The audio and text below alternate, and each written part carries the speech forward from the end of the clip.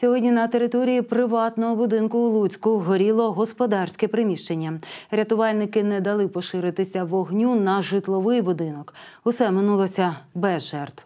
Медична допомога знадобилася лише літній пані, яка, зі слів медиків, перехвилювалася за життя доньки та онуків. Е, Повідомлення про пожежу на вулиці Захарова у місті Луцьку надійшло близько 15.50. За викликом одразу були направлені два автомобілі першої державної пожежно-рятувальної частини, яка знаходиться неподалік. Для прибуття було витрачено мінімальний час, близько двох хвилин.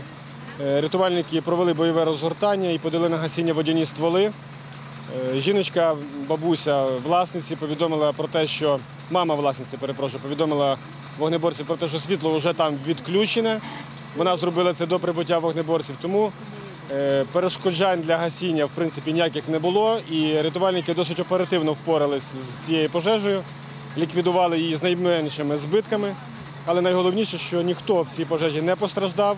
Хоча на території господарства були діти, троє дітей, які були під наглядом їх бабусі. Ну але як вона запевняє, вони не брали сірники до рук, і пожежа виникла швидше за все через інші причини, ймовірно, через коротке замикання електричної мережі. Але зараз ще буде проводитись е, дослідження всіх обставин цієї події.